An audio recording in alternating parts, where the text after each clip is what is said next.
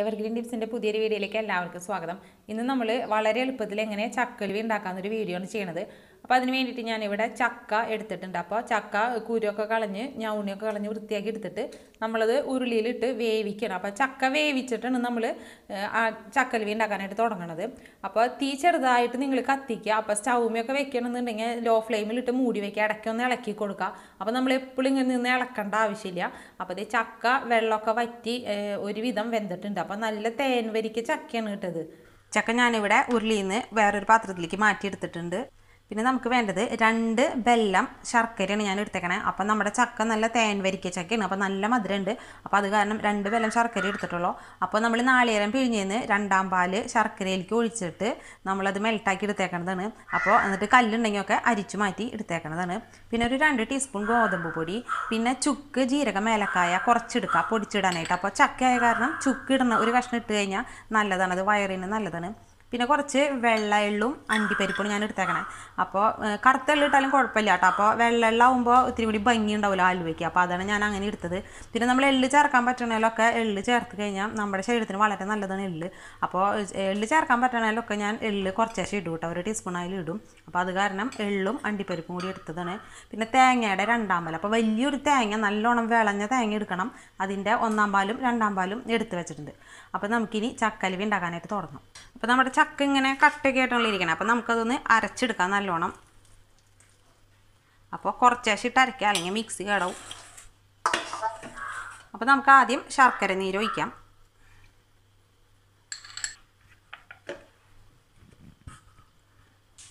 അപ്പം നമ്മൾ ചക്ക വേവിച്ച ഉരുളി തന്നെയാണ്. കഴുകൊന്നും വേണ്ട അതിലേക്ക് തന്നെ ഇട്ട് കൊടുക്കും. അപ്പോൾ നമുക്ക് എല്ലാ ചക്ക ഇതേപോലെ അരച്ചെടുക്കാം കേട്ടോ. ശർക്കര നീര് ഒഴിച്ച് കഴിഞ്ഞ് കഴിയുമ്പോൾ നമുക്ക് പിന്നെ കുറച്ചും കൂടി അരയ്ക്കാണ്ടല്ലോ. അപ്പോൾ നമുക്ക് തേങ്ങയുടെ ആദ്യത്തെ പാൽ ഒഴിച്ചിട്ട് അരയ്ക്കാം. അപ്പോൾ നമ്മൾ പരമാവധി വെള്ളം കുറച്ച് ചെയ്യുക അപ്പോൾ നമുക്ക് അധികമായിട്ട് ഇളക്കേണ്ടി വരില്ല. അപ്പോൾ തേങ്ങയുടെ പാലൊക്കെ പിഴിയുമ്പോൾ വെള്ളം കുറച്ച് പിഴിയാനായിട്ട് ശ്രദ്ധിക്കുക ഇനി നമുക്ക് ഈ മിക്സിയുടെ ജാറിലേക്ക് ഗോതമ്പ് പൊടി ഇട്ട് കൊടുക്കാം. എന്നിട്ട് നമുക്ക് നാളികേരപ്പാൽ ഒഴിച്ചിട്ട് ഒന്ന് കറക്കിയെടുക്കാം. നമുക്കത് ചക്കയിലേക്ക് ഒഴിച്ചു കൊടുക്കാം. അപ്പോൾ നമ്മുടെ ഒന്നാം പാൽ മുഴുവൻ കഴിഞ്ഞു. അപ്പോൾ ഞാൻ രണ്ടാം പാൽ ഇത്തിരി ഒഴിച്ചിട്ടുണ്ട്. അപ്പോൾ അത് മിക്സിയുടെ ഉള്ളിലേക്ക് ഒഴിച്ചിട്ട് ഒന്ന് കറക്കിയെടുത്ത് കഴിഞ്ഞാൽ മിക്സിയുടെ ഉള്ളിലിരിക്കണ ചക്കയുടെ അംശമൊക്കെ നമുക്ക് കിട്ടും. ഒരു നുള്ളി ഉപ്പ് ഞാൻ ഇട്ട് കൊടുക്കുന്നുണ്ട്. മധുരം ഒന്ന് ബാലൻസ് ചെയ്യാനായിട്ടാണ്. നല്ലോണം മിക്സ് ചെയ്ത് കൊടുക്കാം. അപ്പോൾ വല്ലാണ്ട് വെള്ളം അങ്ങനെ ആയിക്കഴിഞ്ഞാലാണ് നമുക്കിടെ കൈമലിക്കൊക്കെ പൊട്ടിത്തെറിക്കുള്ളൂ കേട്ടോ. അപ്പോൾ നമ്മളിതൊരു വിധം കട്ടിയിൽ തന്നെ വെച്ച് വെരുകി എടുക്കണമെന്നുണ്ടെങ്കിൽ കൈമലിക്ക് പൊട്ടിത്തെറിക്കൊന്നുമില്ല കേട്ടോ. അപ്പോൾ രണ്ടാം പാലാണ്. അപ്പോൾ അതിന്റെ അടി ചിലപ്പോൾ ഇങ്ങനെ ഊറിയിട്ടുണ്ടാവും കേട്ടോ. അപ്പോൾ നമുക്ക് ആ മോൾ ഭാഗം മാത്രം ഇങ്ങനെ എടുത്താൽ മതി. അപ്പോൾ അടിയിൽ വെള്ളത്തിന്റെ അംശമായിരിക്കും. അപ്പോൾ അത് നമുക്ക് കളയാം. ഇത്രയും കൂടി ഉള്ളു നമ്മുടെ രണ്ടാം പാൽ. അപ്പം നമ്മളിതിപ്പോൾ ഇതിലേക്ക് ഒഴിക്കണില്ല. നമ്മൾ അടുപ്പത്ത് വെച്ചിട്ട് കുറച്ചേശം ഒഴിച്ചു കൊടുത്തിട്ട് വറ്റണേനനുസരിച്ച് എത്രയേശം ഒഴിച്ചു കൊടുത്ത് നമുക്ക് വറ്റിച്ചിടും ഒരു ടീസ്പൂൺ നെയ്യ് ഞാൻ ഇട്ട് കൊടുക്കുന്നുണ്ട്. കിളക്കി കൊടുക്കാം. അപ്പോൾ അടുക്കി പിടിക്കാണ്ട് ശ്രദ്ധിക്കണം. പെട്ടെന്ന് തന്നെ ആവും. അധികം സമയമൊന്നും വേണ്ടി വരില്ല അപ്പോൾ നമ്മൾ വെള്ളം വറ്റുന്നതിനനുസരിച്ച് നമ്മുടെ രണ്ടാം പാൽ ഇത്തിരി ബാക്കിയുണ്ടല്ലോ. അത് കുറച്ചേശം കുറച്ചേശം ഒഴിച്ചു കൊടുത്ത് നമുക്ക് ഇളക്കാം. എല്ലാം കൂടി ഒഴിക്കരുത് നിങ്ങൾ അപ്പോൾ ഇതിന്റെ ആകെ ലൂസാവും. നമ്മുടെ കൈമലിക്കൊക്കെ പൊട്ടിത്തെറിക്കും. അപ്പോൾ കുറച്ചേശം ഒഴിക്കുക. വെള്ളം വറ്റുന്നതിനനുസരിച്ച് ഒഴിച്ച് ഒഴിച്ച് കൊടുക്കുക. അങ്ങനെ വറ്റിച്ചെടുക്കാം. അപ്പോൾ ഈ ഒരു പരുവാണ് കേട്ടോ ഇതിനേക്കാളും ഇത്തിരി കൂടി ലൂസായി കഴിഞ്ഞ് കഴിഞ്ഞാൽ പൊട്ടിത്തെറിക്കും. ഈ പരുവായി കഴിഞ്ഞാൽ നമ്മുടെ കൈമലിക്ക് പിന്നെ പൊട്ടിത്തെറിക്കില്ല കേട്ടോ അപ്പോൾ ഉള്ളിൽ നിന്ന് ഇങ്ങനെ വിട്ട് വന്ന് തുടങ്ങിയ പരുവായിട്ടുണ്ട്. ചെറുതായിട്ട് ഇങ്ങനെ വിട്ട് വന്ന് തുടങ്ങിയിട്ടുള്ളൂ. അപ്പോൾ നമ്മൾക്ക് അതിലേക്ക് പൊടിച്ച് വെച്ച ഏലക്കായും ജീരകവും ചുക്കൊക്കെ ഇട്ട്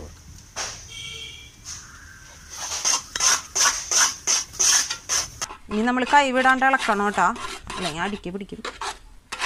അപ്പോൾ തീ ഭയങ്കരമായിട്ട് കത്തണമെന്നുണ്ടെങ്കിലാണ് നമ്മളിങ്ങനെ ഇളക്കൊണ്ട്. തീ ഇത്തിരി കുറവാണ്. കനലൊക്കെ ഉള്ള അടുപ്പിൽ അങ്ങനെയാണെന്നുണ്ടെങ്കിൽ ഇങ്ങനെ കുറച്ചൊക്കെ നമുക്കൊന്ന് കൈ നിർത്താട്ട് ഇളക്കി. ചുക്കുപൊടിയൊക്കെ ഇട്ടതിന് ശേഷം നമുക്ക് എള്ളും കഷ്ണണ്ടിയും ഇട്ട് കൊടുക്കാം. വീഡിയോയിൽ കട്ടായി പോയതാണത് ഞാനൊരു വലിയ ടീസ്പൂൺ വെളിച്ചെണ്ണ എടുത്തിട്ടുണ്ട്. കോക്കനട്ട് ഓയിൽ അത് ഒഴിച്ചു കൊടുക്കാം. അപ്പോൾ നെയ്യ് ഒഴിക്കണമെങ്കിൽ ഒഴിക്കാട്ടോ പക്ഷേ നെയ്യുടെ ഭയങ്കര കുത്തായാലേ ചിലപ്പോൾ അത് ഇവിടെ അങ്ങനെ വലിയ താല്പര്യമില്ല. അപ്പോൾ അത് കാരണമാണ് ഞാൻ വെളിച്ചെണ്ണ ഒഴിച്ചത്. എന്താ ഉരുളിയിൽ കിടന്ന് ഇങ്ങനെ ഓടണ ഒരു പരിവാവണം. അപ്പോൾ നമ്മുടെ നാളികേരപ്പാലുണ്ടല്ലോ അതിലത്തെ വെളിച്ചെണ്ണയൊക്കെ തെളിഞ്ഞു വരും. അപ്പോൾ ഈ നാളികേരം വിളവ് കുറവാണ് വെളിച്ചെണ്ണ ഇങ്ങനെ വല്ലാണ്ട് തെളിഞ്ഞു വരില്ല. അങ്ങനെയൊക്കെ ഉണ്ടെന്നുണ്ടെങ്കിൽ നമ്മൾക്ക് ഒരു ടീസ്പൂണും കൂടി കൂടുതൽ ഒഴിച്ച് കൊടുക്കാം കേട്ടോ വെളിച്ചെണ്ണ. അപ്പോൾ നമ്മുടെ ചക്ക ചക്കവലുവ ഇവിടെ റെഡി ആയിട്ടുണ്ട്. അപ്പോൾ കണ്ട സൈഡിൽ വെളിച്ചെണ്ണയൊക്കെ ഇങ്ങനെ തെളിഞ്ഞ് വരും. അപ്പോഴാണ് അതിന്റെ പാകം. എന്താ ഉരുളിയിലൊന്നും ഒട്ടിപ്പിടിക്കില്ല. ഇങ്ങനെ ഒരു ബോൾ പോലെ ആവും. ഉരുളിയിൽ നിന്നൊക്കെ വിട്ട് നല്ല ഇതാവും. പിന്നെ നമ്മൾ ചട്ടക്കത്തുകൊണ്ട് ഇങ്ങനെ ആക്കി നോക്കുമ്പോൾ ചട്ടകത്തുമ്മ ഒന്നും പിടിക്കില്ല കണ്ട. നല്ല വെളിച്ചെണ്ണ ഇങ്ങനെ തെളിഞ്ഞ് തെളിഞ്ഞ് വരും. അപ്പോൾ അതാണ് നമ്മുടെ അലുവയുടെ പാകം. അപ്പോൾ നമുക്കിനി അടപ്പത്ത് നിന്ന് മാറ്റി വയ്ക്കാം എന്നിട്ടൊരു പാത്രത്തിലേക്ക് പകർത്തി വയ്ക്കാം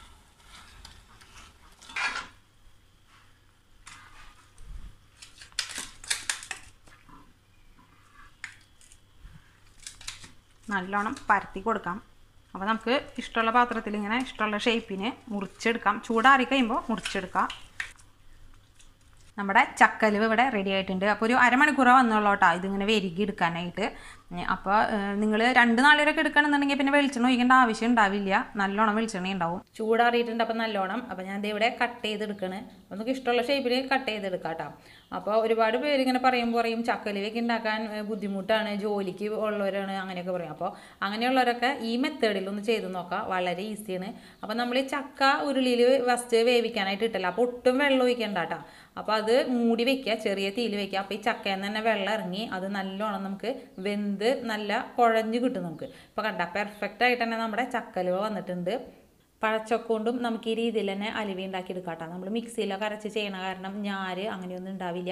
ഇപ്പോൾ രണ്ട് ദിവസത്തോണ്ടാണ് കേട്ടോ ഞാൻ ഈ അലുവി ഉണ്ടാക്കിയെടുത്തത്. അപ്പോൾ ഫസ്റ്റത്തെ ദിവസം ചക്ക നല്ലോണം വേവിച്ച് വെച്ചു. പിറ്റേ ദിവസമാണ് നാളികേരപ്പാലിട്ട് വെരുകി എടുത്തത്. അപ്പോൾ അങ്ങനെ ചെയ്യുമ്പോൾ നമുക്ക് ഒട്ടും ബുദ്ധിമുട്ട് തോന്നില്ല. അപ്പോൾ ചക്കയൊക്കെ കിട്ടുമ്പോൾ കളയാണ്ട് ഇങ്ങനെയൊക്കെ ഉണ്ടാക്കി നോക്കുക കുട്ടികൾക്കൊക്കെ ഉണ്ടാക്കി കൊടുക്കുക നമ്മുടെ വീഡിയോ ഇഷ്ടമായെങ്കിൽ ലൈക്ക് ചെയ്യാനും സബ്സ്ക്രൈബ് ചെയ്യാനും കൂട്ടുകാർക്കൊക്കെ ഒന്ന് ഷെയർ ചെയ്ത് കൊടുക്കാനും മറക്കരുത്. കമൻസൊക്കെ ഇട്ടോളൂ. താങ്ക്